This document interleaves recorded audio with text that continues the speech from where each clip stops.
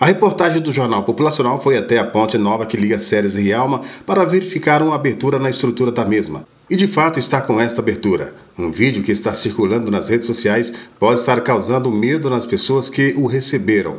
Mas a população não precisa ficar assustada. A reportagem do JP procurou um especialista na área de engenharia civil.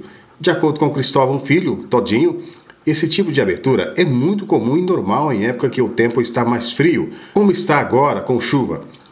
Isso, segundo ele, acontece nas juntas de dilatação que fica sobre o pilar.